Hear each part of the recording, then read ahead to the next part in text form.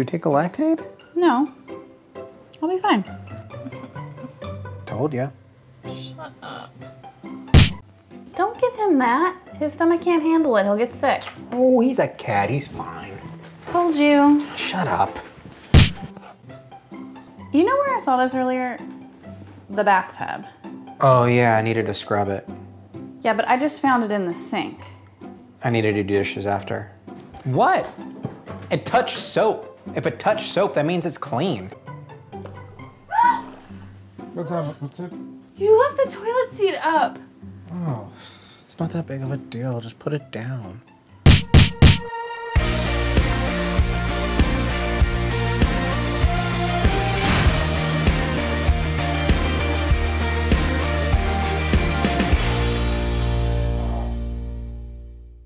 The gloves are off. hey, this is our third message in this this series, man versus wife. And uh, there, there's only been three people make decisions for the Lord during this series. So, what might He have in store for you? It's pretty awesome. A couple is going to get baptized next Sunday. Um, today's message is primarily for men. So, so I, I got. I want to start out with a, with a few things. Number one is for you ladies. Uh, this right here, since it's for men, it's not a time for you to to jab your, you know, to get him in the side with his hand. And when you get in the car afterward, you don't point it out and say, "Did you hear what that preacher said?" You know, you don't do that. And uh, I, don't know of any man who was ever nagged into heaven by his wife. So, just ladies, want you just to shh this morning and listen up and bear with us. Number two, Scripture defines for us what biblical manhood is, men, and we're going to look at that today. And I hope it's some fun. And uh, and I want to go ahead and acknowledge that it's tough. And none of you women, none of none of this, but but being a man is tough.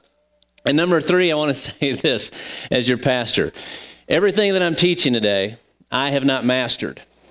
Uh, I, I, I don't have an S on my chest. I do not walk on water. I do, ha- I do not have this stuff perfected. I'm speaking to you today, men, as a fellow struggler on this journey of manhood. So I'm praying today, men, that, that we can become the men that God has called us to be in the home and in His church. So there's this phrase that I want you all to get today, uh, and that is this phrase this no matter what. I want you to be able to look in, in the eyes of your spouse after this today and, and have that phrase embedded in your mind no matter what. So, man, I want just practice that out loud today with me on the count of three.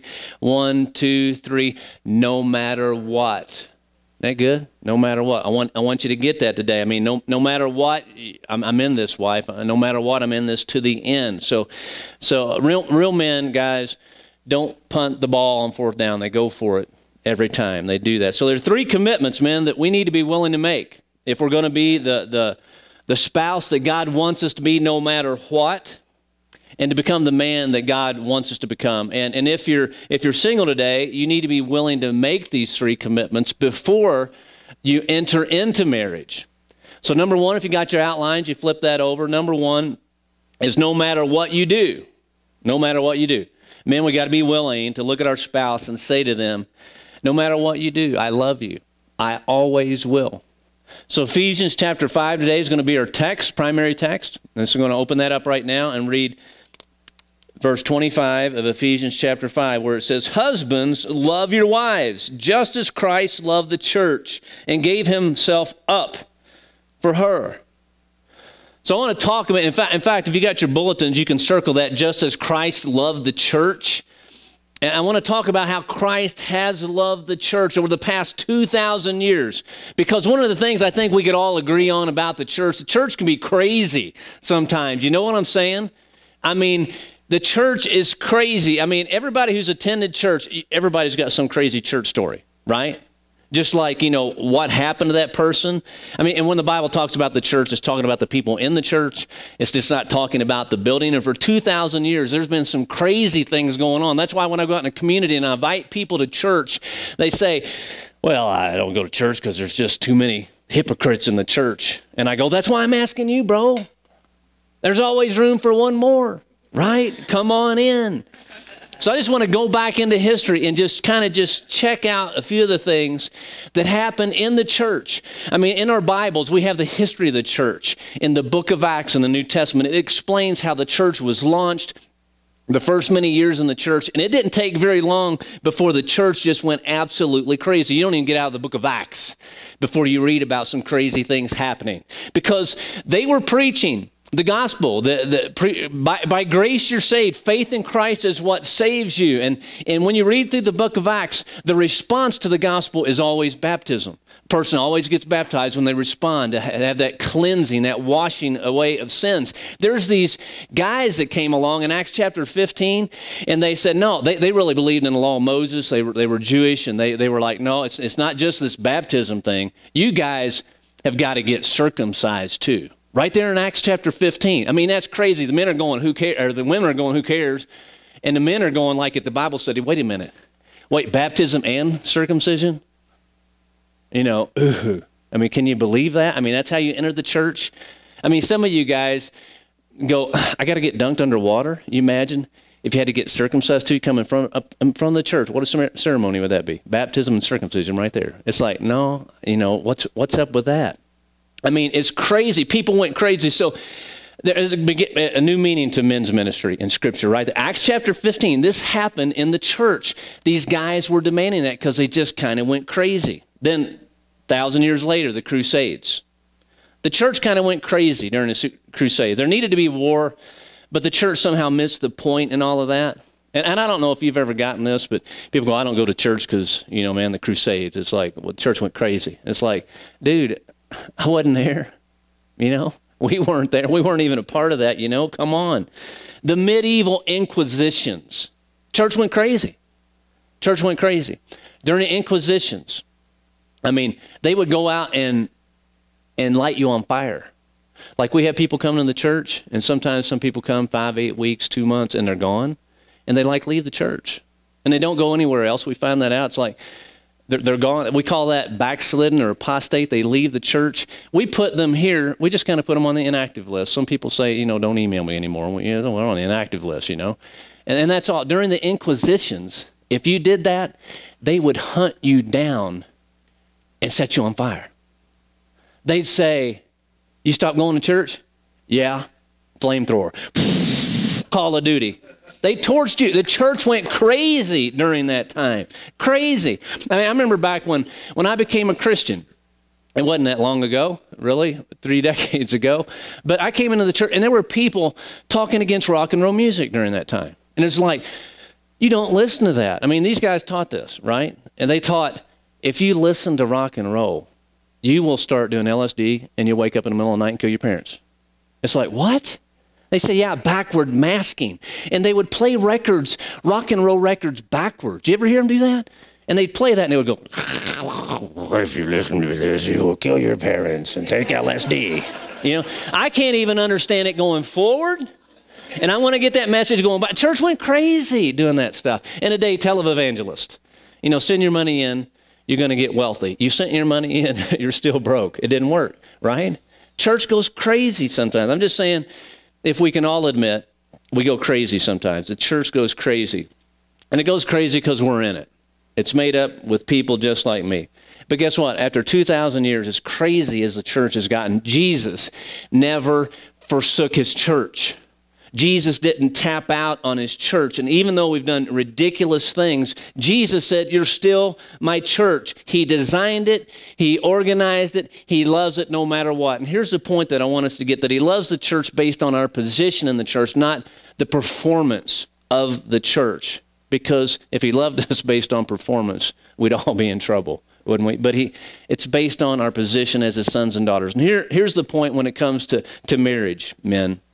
You're to love your wife based on the position that she has as your spouse, not on her performance as your spouse. You love her no matter what. And it's difficult at times because, now don't say anything out loud, men, but, but wives, they can go crazy sometimes, can't they? Huh? Right. No, no, not supposed to say that out loud. But women admit that today. Don't you just sometimes like go crazy? I mean, just sometimes. I mean, admit that, will you? Like, like with shoes, right? You try on a pair of shoes at the store and you know they don't fit and they hurt your feet, but oh, they look good and they're on sale. And you buy those shoes and you wear them all day and you're going in your head, these shoes hurt my feet. Why'd you buy the shoes when they didn't fit? We go crazy sometimes. Is it necessary, women, to have 14 bottles of shampoo in, in, in, in the shower? Is it really? Single guys, you don't get this because I know you may have a bar of soap in there. On some days, you got a bar of soap in there. But women can go crazy with this stuff. Does there have to be 20 pillows on the bed? Who lay, who, who's, you, women, crazy stuff. I got men tell me, you know, Pastor Greg, my wife's crazy. And I go, I know she's crazy. She married you, bro. you know, at the end of the day, man, we are called to love our wives, just like Christ loved the church, no matter what. G- Jesus never walked away from the church, even when it was at its worst. He loved the church based on position, not performance. And, and, and, women, guys, need permission to mess up. They, they need permission to be imperfect, just as the church was imperfect. We need to, to grant them that. And one of the godliest things that we can do today as men of God is before the end of the day is over, is just to say to our wife, no matter how crazy this relationship get, gets, no matter how low this gets, no matter what happens, I love you to the end. I'm in this forever, no matter what. That's the godliest thing, men, that you might be able to say to your wife today before the day is over. So we love them no matter how crazy it gets. Number two, no matter what it takes no matter what it takes. Verse 25 again Husbands, love your wives just as Christ loved the church, and he gave himself up for the church. You can circle that phrase, and he gave himself up for her. We are called, men, literally to lay down our lives like Christ laid down his life for the church, to lay down our lives for our wives. Men, quick question. Quick question. The remote control in your house. How many of you, that remote control is yours? Raise your hand if that remote control is yours. No doubt about that. Now, women, how many men next to you should have raised their hand and didn't? Yeah, yeah, see? See there? At my house, I have supreme authority over the remote control. I do. I have declared that. That is my remote control. And, uh, and my kids have to have written permission before they can touch the thing. It's like, you're not going to touch that. But I come home one day and my wife's got the remote control. And uh, that's okay because when I'm not home, you know, somebody, somebody's got to use it. So I've granted her that, that position. But, but I walked in, yeah, don't throw that, honey. yeah, I know. I better stick with my notes here. um, and I walked in and she's, she's watching Say Yes to the Dress, right?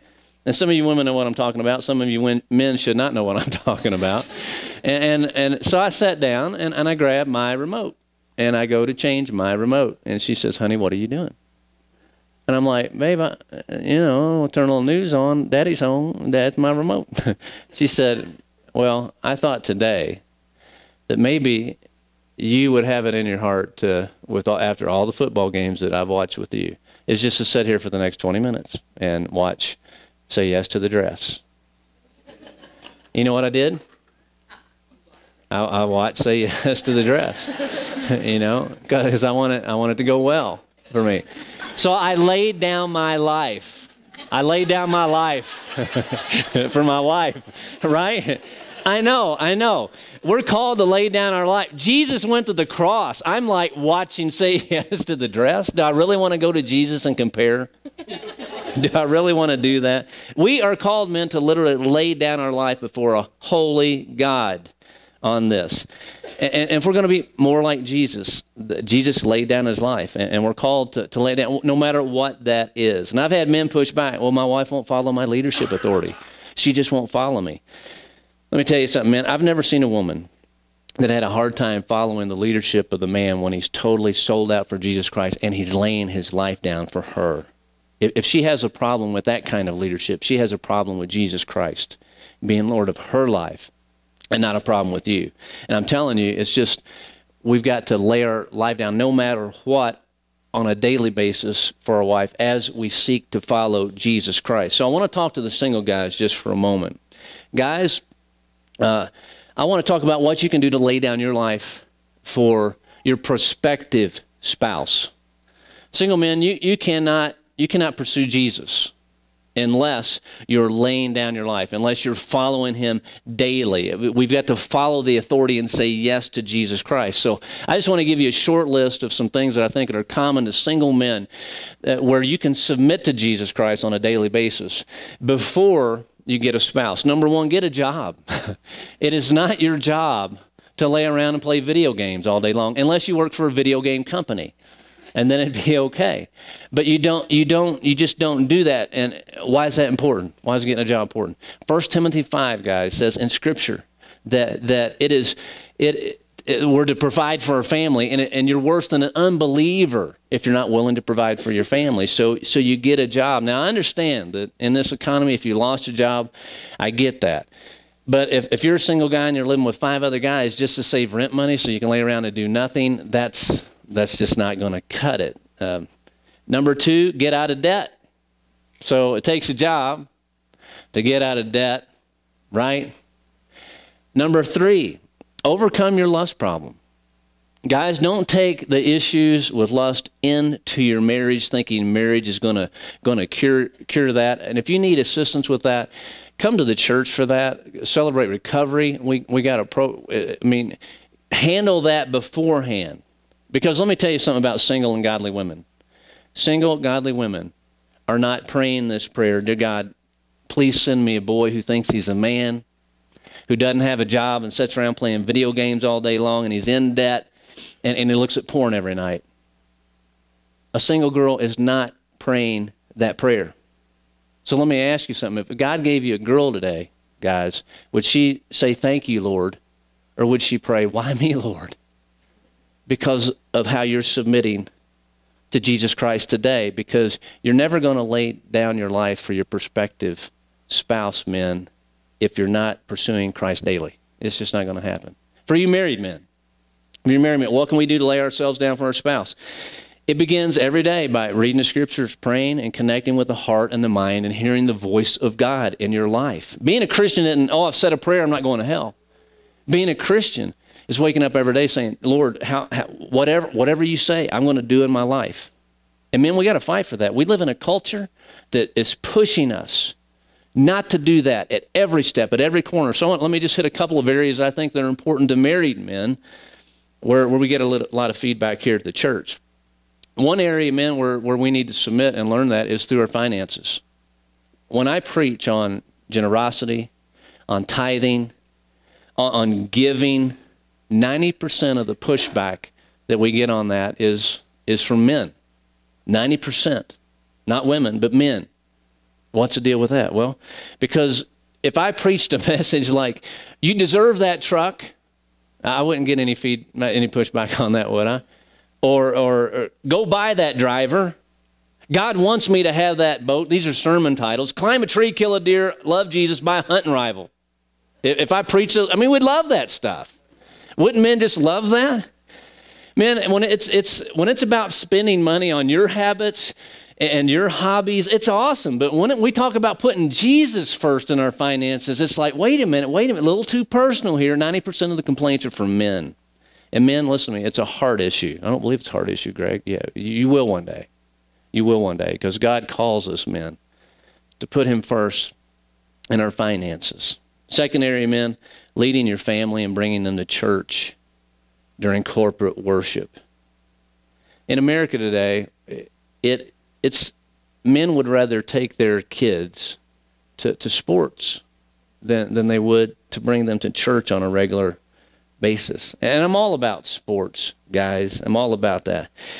But what I'm saying, dads, is where do you want your son or daughter to be in 10 years spiritually? Where do you want them to be in their walk with Jesus Christ? And what are you doing right now to get them there? Because we have parents, we've, we've got dads that bring in their teenage sons, that bring in their teenage daughters when, when they are running from God, and they set them down thinking that the church is going to fix it. And, and, and I hate to tell them this. And, and I go, I, I can't fix your son or daughter.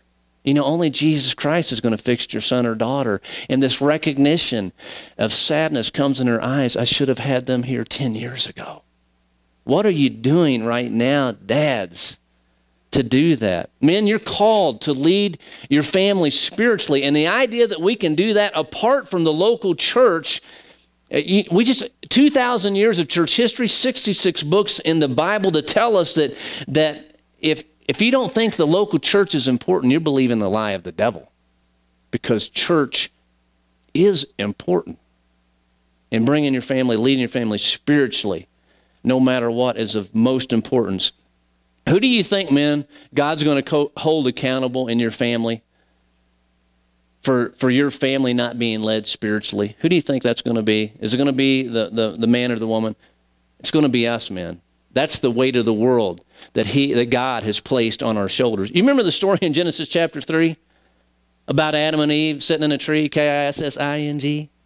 You remember that story? It was a cool story, wasn't it? Well, wasn't it fun to learn about that? Eve walks out into the garden and there's this snake there, and she starts having a conversation with the snake. Number one, you never have a conversation with a snake, right? And number two, if you ever see a snake in the garden, you kill it right.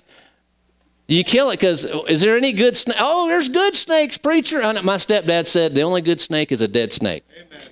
And, and I follow that. I, pra- I practice that. In Genesis chapter 3, Eve goes out, right? Adam's there the whole time. And she goes out and she sees the fruit. Adam's like hanging out right there with her. And, and she sees the fruit. She handles the fruit. And, and who, who's, who's the first person to taste the fruit, man? Yeah, it's not Jesus, I know. Jesus usually answered, but it's Eve. Eve was the first one to sin here. She was the first one to handle it. But, uh, and it's like, you know, men, we can blame, tend to blame women and blame Eve for eating that fruit. And, but we really can't do that because Adam needed Eve, right? Because he'd got lost in that garden because he wouldn't have had anybody to ask for directions if she hadn't been there. But Eve, understand this, Eve handled the fruit. She, she saw it, she tasted, she had that conversation with, with that steak, and she ate it. But who do you think God held responsible for that, man? Who do you think God held responsible for that? Look, in, in, uh, in Genesis chapter 3, the Bible reads this in verse 8. It says, The man and his wife heard the sound of the Lord God as he was walking in the garden in the cool of the day. And they hid from the Lord God among the trees of the garden.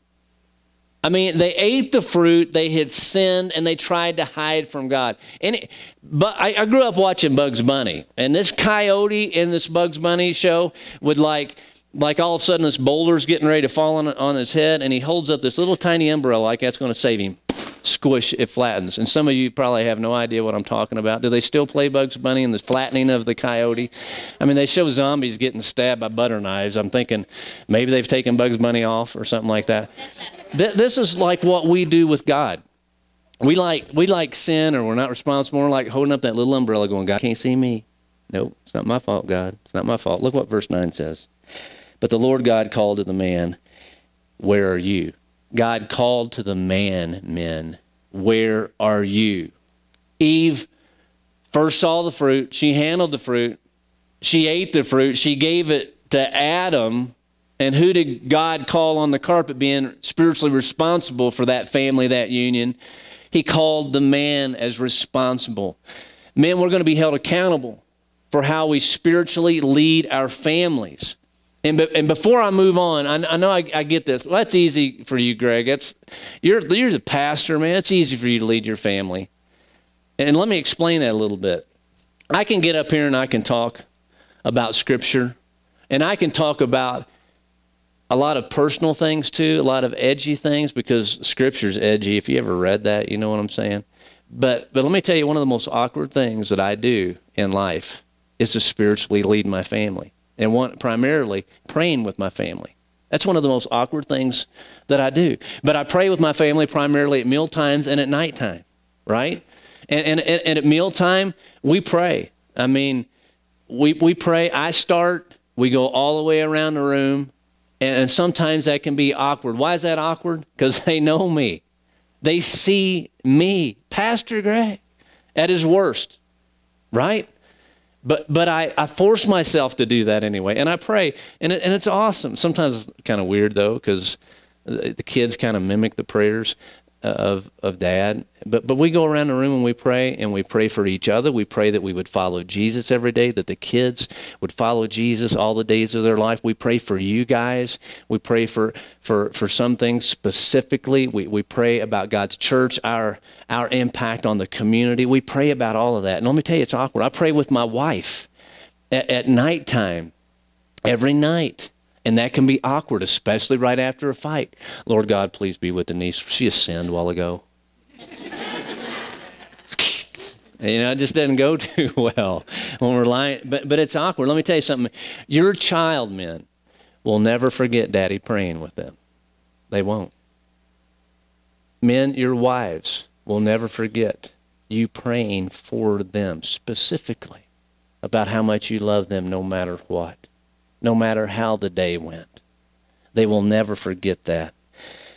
Jesus laid down his life on the cross, and we're called as husbands to lay our lives down for our wives, guys, for our families. Point three no matter what you need, no matter what you need. I said in my introduction today that, that it, it, it's hard being a man sometimes. It, it is. It's difficult. Like one time, a, while back, I mean, this is when we had a lot of rain going on. uh, lying in bed, it's probably about 12, 12.30 at night. And uh, some, I, am a light sleeper. And uh, I was awakened to this noise. And I hopped up with a prayer. What do you mean hopped up with a prayer, preacher? Well, I call the 40 Glock that sleeps right beside me my prayer. You know what I'm saying? I'm like, what's that noise? There was scratching. Amen. What? There was scratching. The scratching sound coming from the ceiling fan. And I'm listening. Denise wakes up. It's like, what is that? As mice, right? I had to go out in the middle of the night into the garage, put up the ladder, crawl through that hole, walk all the way to the edge through all this stuff, this, this insulation, to set traps. I came back down, huffing and puffing, stuff all over me. I go to crawl back in bed, and, and I still heard scratching. I wanted to take my prayer and just pray him away. Boom, boom, boom, right there. But I didn't do that. It's tough, isn't it, being a man? Isn't it tough? You got, I hear you guys like weeping for me right now. a couple uh, last week, you know, I wake up. There's like a foot of snow dumped on, on our on our house, and I look out at the sidewalk in the driveway, and I go like, somebody ought to do something about that. It's like, oh yeah, that's me, right? And then it happened this morning. It's like, the heck with that. I'm coming to church. I'm, not gonna, I'm not going to do that. It's hard sometimes. It is. It's hard being a man.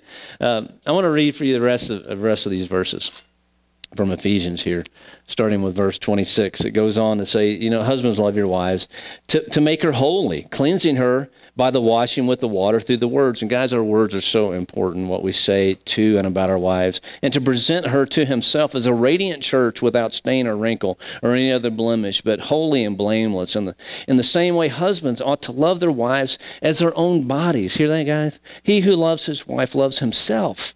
After all, no one ever hated his own body but he feeds and cares for it, just as Christ does the church. For we are members of his body. We are to care for our wives, men, no matter what they need. And we've got that responsibility to, to care for them because when we're caring for them, we're caring for ourselves. Because the Bible says that two become one.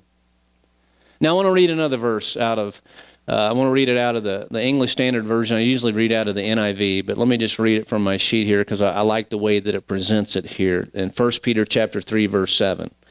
It says it like this. It says, Likewise, husbands, live with your wives in an understanding way.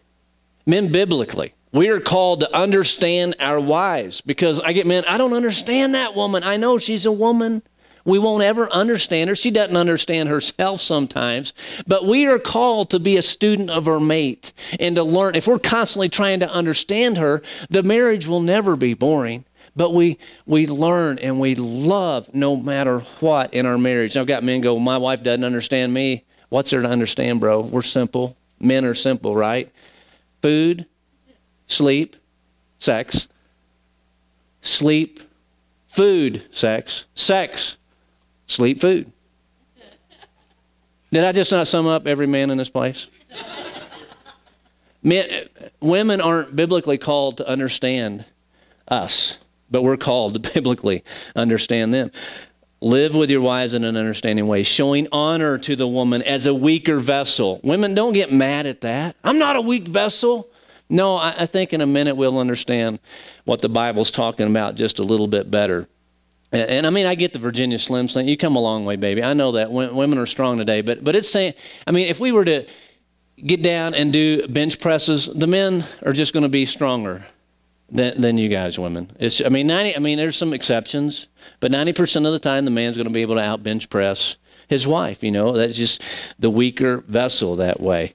But but it actually says something important summing up this verse. Look, un, and live with her in an understanding way, showing honor to the woman as a weaker vessel, since they are heirs with you of the grace of life, so that your prayers may not be hindered. If we don't honor our wives, guys, our relationship with God is going to be severed.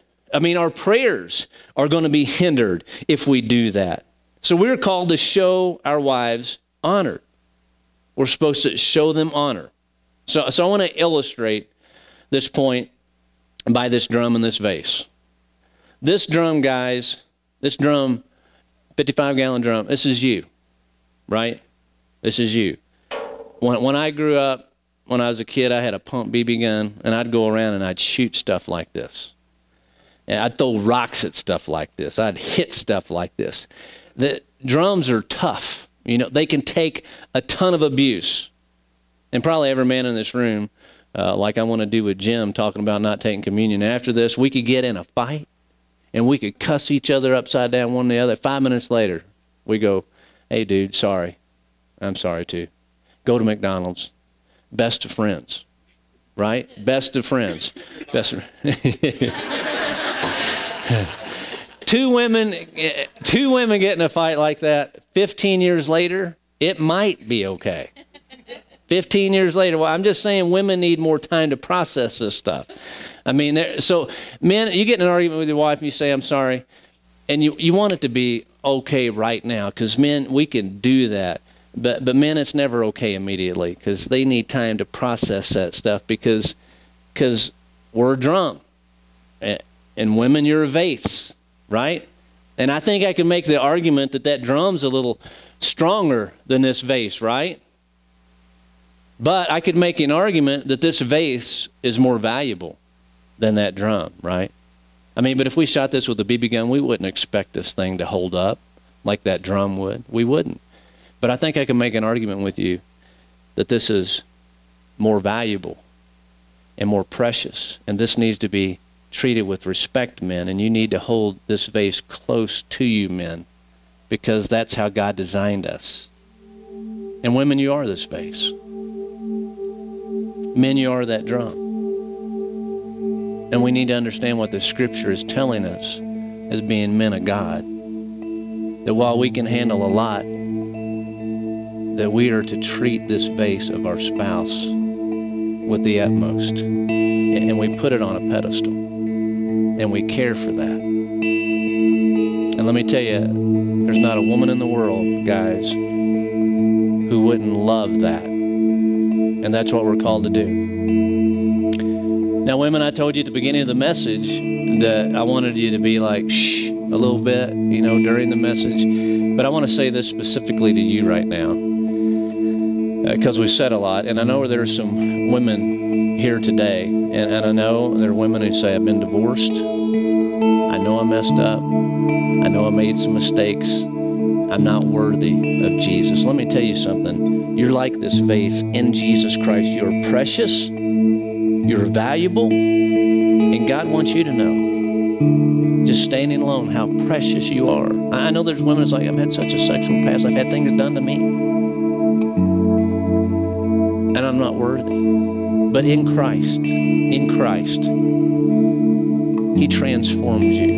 And it's not because of past performance that He loves you, it's because of your position in Jesus Christ, ladies, that He loves you no matter what. Jesus Christ loves you. And He holds you here. And He wants you to know today that you are absolutely precious in His sight no matter what. So, what I want to wrap up with today no matter what you've done, no matter what's happened to us, no matter what, Jesus loves us when we're in Christ based on our position as Him, as His sons and daughters. And here's what I believe I believe there are some people here today that we need to pray through the commitments that we just listed some of you men, especially, some of you women need to understand that It's Jesus Christ that makes you totally complete, totally whole. And we need to hear today God's voice saying, It's time for you to submit to me. So let's pray that prayer right now. All eyes closed, every, every head bowed. Father, I pray in the name of Jesus. I pray through the power of your Holy Spirit that you, God, will speak to our hearts, that you have spoken to our hearts. And men, particularly, you need to pray some of these things no matter what they do, no matter what they need, no matter what it takes. And some of you, when you get home today, you, you got to look at your wife and just say, I'm in this forever no matter what. I want to honor you as a, a valued vessel of, of Jesus Christ, not a drum. And some of you guys, frankly, need to give some stuff up in order to draw your family to Jesus Christ spiritually. And ladies, some of you need to just pray, Jesus, help me. Help me to see that I am that vase and I'm not that drum because Satan keeps pulling up those, those words in my mind. Because in Jesus, He makes you the valued vessel that you are. And I know there are people here today. This has been a, a marriage message on marriage and, and godly men, but but that, that those aren't your problems. You just have basically a Jesus problem because you've not surrendered your life to Jesus Christ. There's never been a time that that you have said, God, all of me for all of you. So my question today is have you completely surrendered to him? So if you want to surrender your life to Jesus, but you're like, you know, I've been too bad. I know I've messed up too much.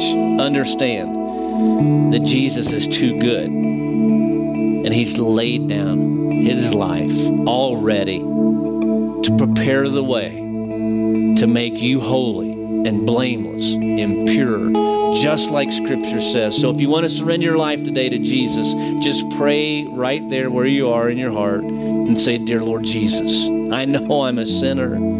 I know I need forgiveness. I believe you laid down your life on that cross. You rose from the grave. Right now, I just surrender to that. I confess you, Lord. Please come into my life and show me how to live. In Jesus' name. In Jesus' name. With every head bowed, every eye closed. If you just prayed that prayer, what I'm asking you to do is for you to tell somebody. There are going to be people uh, in a little bit in the lobby, our care team. Let them know, tell them. And if you need if you heard something today where you need to pray about this message, they're willing to pray with you or for you. When we sing in just a moment, we're going to have the opportunity just to make our way out there to pray with these people. Father, I pray that we will have heard your voice right now. In Jesus' name I pray. Amen. Amen. Would you stand with me right now? If you love Jesus, would you give him a big hand clap right now? If you love Jesus. Last week I, I talked about our homework our homework assignment, and that was out of Ephesians or Philippians chapter two. Our homework assignment for this week every day is to read Ephesians, what we read today, Ephesians 5, verses 22 through 33 and also this first peter chapter 3 the first seven verses of that as your homework. And, and you listen to jesus this week. Um, it's awesome that you guys came out to worship the lord today. Let us just go out with the love of jesus into this community and, and tell them about what we celebrate. And let's see what come back next week and let's see what god can do to further our cause for him right? Let's sing